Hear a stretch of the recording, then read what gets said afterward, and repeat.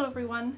Today's video is going to be another T update because somehow I made it to three months on T and that just went by so fast. I'm still on the one pump of Testogel, which is a half dose. I'm thinking about upping it soon, like I feel like the time for that is approaching, but I will keep you updated on whatever happens, obviously. Also, I just want to apologise that it is a bit dark in here. It's kind of like, I think it's like approaching 6pm yeah, it's 6.09 pm, so that's why. And it's also like really overcast today, so yeah, that's that's that. but anyway, so on to the updates. So first I'm going to talk about my voice. So I haven't noticed any like audible changes with it yet. Um, I'm getting pretty impatient, but I know I'm only at three months, which is like the really early days, but like god, I just, I can't wait for that voice drop. But aside from that, I will say that I have been having like a lot of throat stuff going on. So I think like three or four weeks ago now I had a couple days where like I felt like I was starting to get sick with a cold or something but I think it was just like a T cold which is like a really common thing for people on T so I was getting like a sore throat and um, I was like coughing a bit and was getting like a bit of snot and stuff it was like not a great time and then it just like disappeared after like one and a half days. So I'm guessing that that's from T and apparently that can mean that a voice drop is coming up but I don't think I've had one yet. Definitely haven't noticed one. I also have been having a lot of throat tickles lately. I had it for like two weeks straight, just a tickly throat on and off every day for two weeks and then it went away for a few days and then as of today it's back so I've got sore throat and throat tickles and apparently the throat tickles can also indicate a voice drop approaching or just the fact that like your vocal cords thickening so either one I'm happy with. I could be getting my hopes up but I don't know. We'll see. We will see. Next is body hair so talk about the hair on my face first and move my way down like I did last time. So firstly I definitely think like my face fluff like especially around here is still getting like more fluffy and like denser. I do think it's darkened a bit again as well, but I don't know. I think so. I can definitely see it even from a distance in the mirror that it looks bit darker. And I'm also getting like more chin hairs still that are kind of darkening a little bit and then some of the hair on my neck is also starting to get darker, but not the same darkness as like here on my face for some reason. I don't know. Also my moustache seems to be darker again. Um, I had like this one hair on this side that's like darker than all the other ones so I'm hoping that the others will like follow along with that. What am I saying? Follow follow su suit? Is that what people say? Hopefully all the other ones darken as well soon is what I'm trying to say. I also think that I've been starting to get more hair growing like kind of above my moustache like right below my nose around here and also like the corners of my mouth here like really tiny little hairs but they're definitely new so that's cool i think i'll like show you my moustache real quick close and awkward for a second. Yeah so that's how my moustache is doing. I don't know like how well you can see it. And i'm like standing so awkwardly here. I must look really weird to my neighbors right now.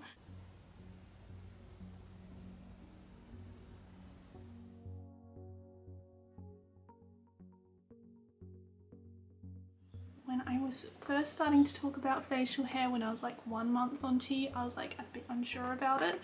But so far, like, I know the changes are like super subtle, but I am enjoying them so far, which is cool. I'm really liking the way that the darkening of my facial hair, I don't know if I can even call it that yet, but I'm going to anyway. um, yeah, I really like that that's sort of starting to shape my face in a certain way that I really like. It's something that I've always kind of wanted I guess. So pretty happy with the direction that that's all heading in so far. So now on to other body hair which is really just my torso still. Like I, I'm not seeing any increase in hair anywhere else which is kind of funny. Like I'm waiting for some more leg hair to come in but it's nothing seems to be happening down there. It's like all focused on my tummy which is fine. Like I'm pretty happy with how the tummy hair is going. So last month I was like sort of seeing the beginning stages of like lots of tummy hair coming in, not just my snail trail, we'll get to that, but my tummy and torso in general, like also like my rib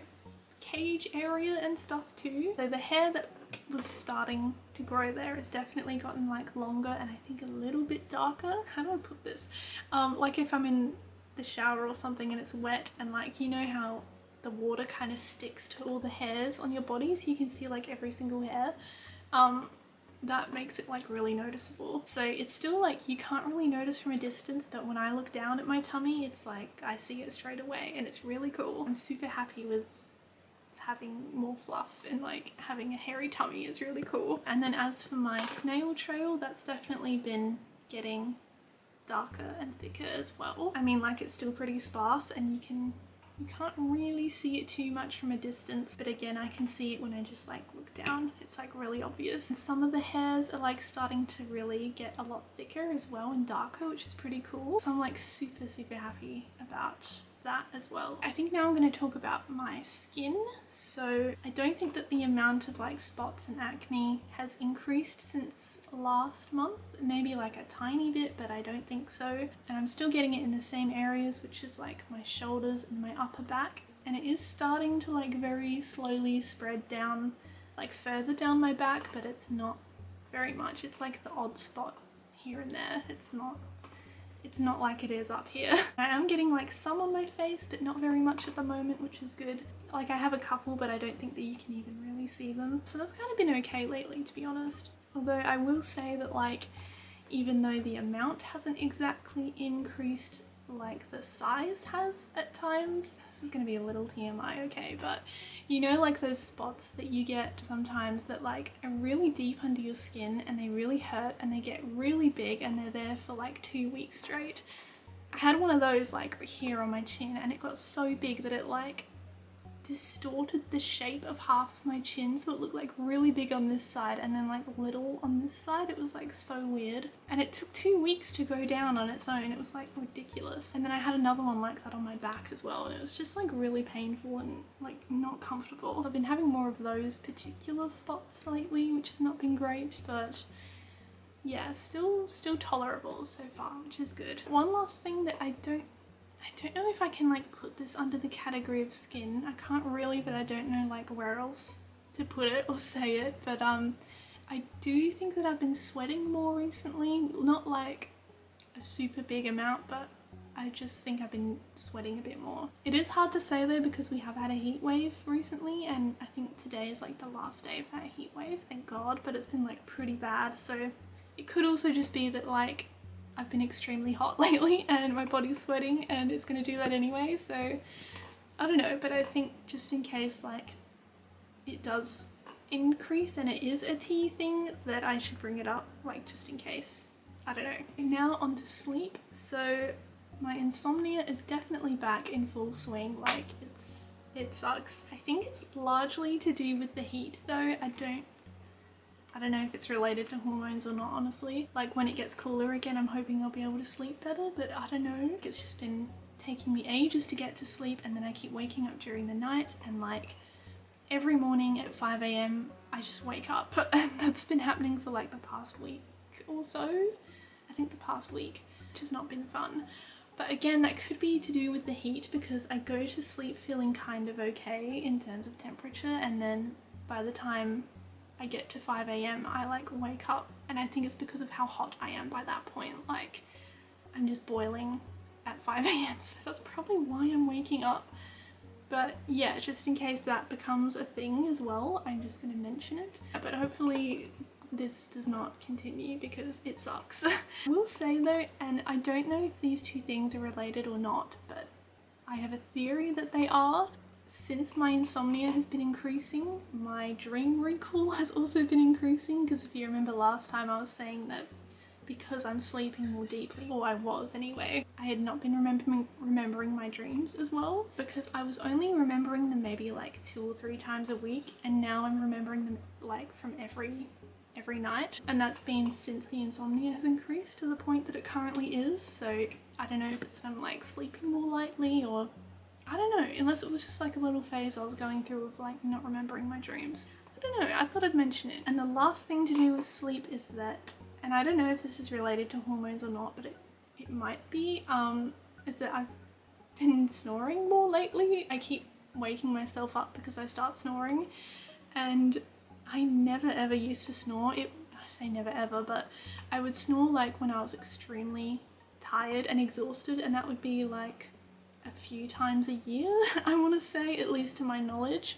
It wasn't very often, but now I feel like it's happening quite a bit. I want to say like if not most nights then like every other night. I definitely noticed it last night as well that I was snoring. I will say that I know my dad was a pretty big snorer like I remember it was extremely loud every single night and it was just anytime he dropped off he would start snoring so I don't even know how he slept through it honestly but anyway um so I'm hoping it doesn't like turn into that because I don't know I don't know how I could be able to sleep through that and I wouldn't want to like disrupt other people in my house from it. I don't know. But obviously like snoring isn't a choice so like no shame if you're someone who snores like obviously you can't help it but I don't want to be a snorer.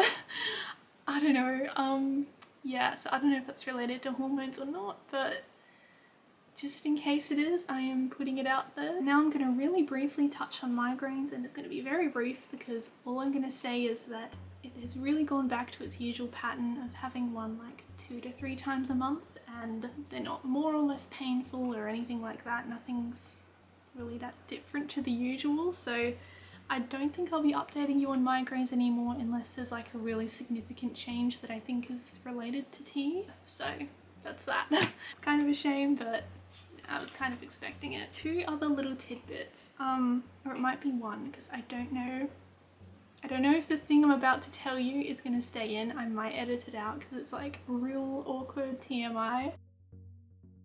Alright, we're going to go straight to the next topic now. So, uh, the other day I was in the pharmacy picking something up. It wasn't even my prescription, but yeah, one of the employees there referred to me as a gentleman, which was really cool, but then I think she saw that I was wearing leggings and shorts and she like corrected herself, which I hate when people do that because you're not correcting yourself. But anyway, she saw me as a gentleman at first and that was quite nice. I quite like being referred to in that way. But when she like corrected herself, she still looked really unsure. She was like really quiet and she was like, sorry, I mean, girl. But she was like, still not quite sure I think unless she just felt really awkward about it.